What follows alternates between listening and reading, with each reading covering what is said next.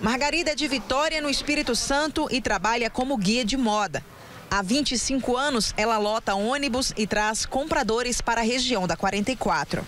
A capixaba diz que a situação foi muito ruim no último ano por conta da pandemia. Ela até reduziu a quantidade de clientes de 40 para 25 para evitar aglomeração. Complicado, porque nós falamos que nenhum lugar tem um polo de moda igual tem aqui na região da 44 Goiânia.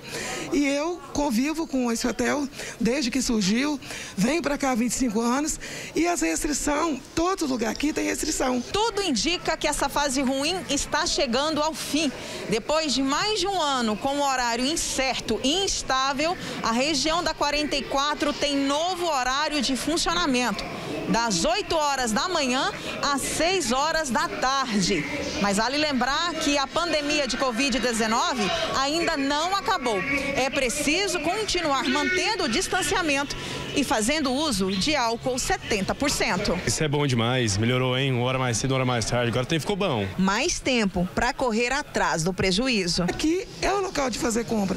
Tem preço bom, tem qualidade e a gente é muito feliz com esse polo aqui. Foi aproveitando o afrouxamento do novo decreto da Prefeitura de Goiânia que os empresários Lorena e Lucas, que tem uma rede de lojas de roupas pelo Brasil, vieram fazer as primeiras compras presenciais na capital, depois de longos meses comprando apenas pela internet. Nós ficamos bem seguros, né? Porque estava bem complicado, a gente estava fazendo só compra online, né? Aí com a diminuição dos casos, a gente veio e a gente está com uma boa perspectiva para esse semestre agora. A Ana Karina é do Pará e está de férias em Goiânia.